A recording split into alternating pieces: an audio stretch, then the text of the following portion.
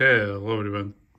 And here after comments under my previous video, I decided to do a little bit more detailed analysis of the Nakamichi DR10 deck. It sounds like incredible. Its records really, really cool.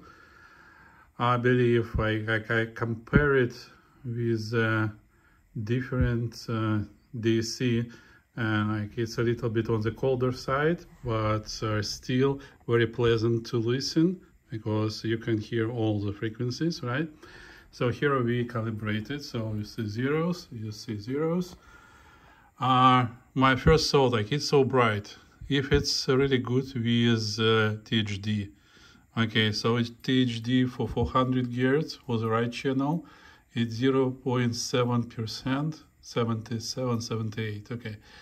And on the left channel it's 0.78 percent okay. And for 1000 Hz it's uh, 1.1 on the left channel and 1.5 on the right channel all right so we are pretty good from the perspective of THD uh, what's next? Next I, I there is a scale. Remember we've been looking. So we recorded minus 10 decibel and this is recorded signal. And it's extremely linear right? And comment was that um, oh you have a very big scale you can't see anything. Okay let's go down to the one decibel per square and as you may see here we are like about one decibel range of the fluctuations on the white noise. And let's do frequency sweep. To see it even better and see how this deck will respond on the different frequencies. So the recording very low frequencies go lower you see because uh, uh, too low like 10 gears is pretty hard to record right and then we are going up.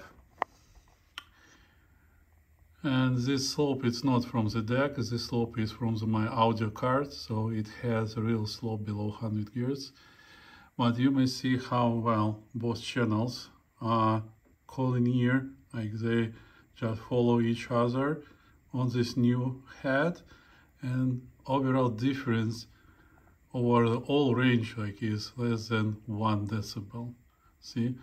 Only after 16 kilogears on type 1 tape we starting to lose signal. Uh, and if we will switch to minus 20 I would need to change the scale. Okay so we would be able to see minus 20 and let's see what we will have here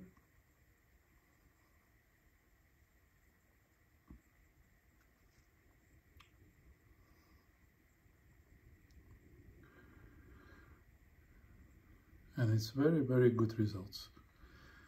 Uh, I barely can see deck which can do such good recordings on type 1 tapes. And I just checked it it records incredible on the type 2 tapes. Right. so you see here still less than 1 decibel up to 18 kilohertz. Pretty cool right and let's do zero decibel or like minus six to be fair.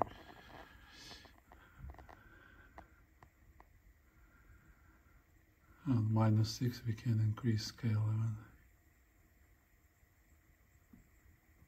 Now one square is one decibel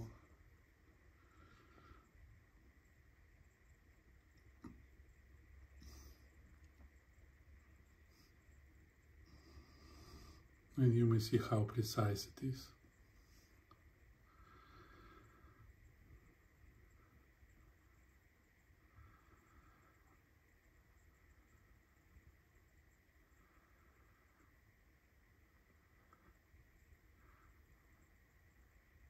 Like minus 2 decibel on 16 kilohertz on this level. Pretty astonishing. And let's do Dolby C.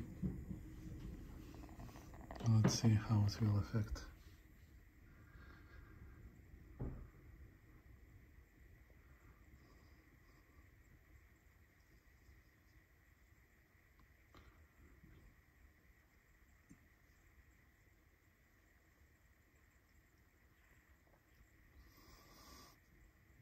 This became even more even between left-right channel.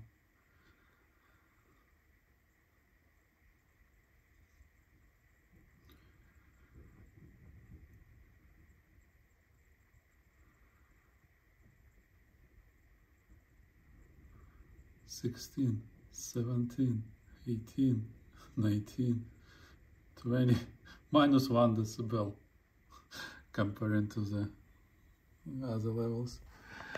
I that's that's how good it is. Well, I hope I'm answering the question.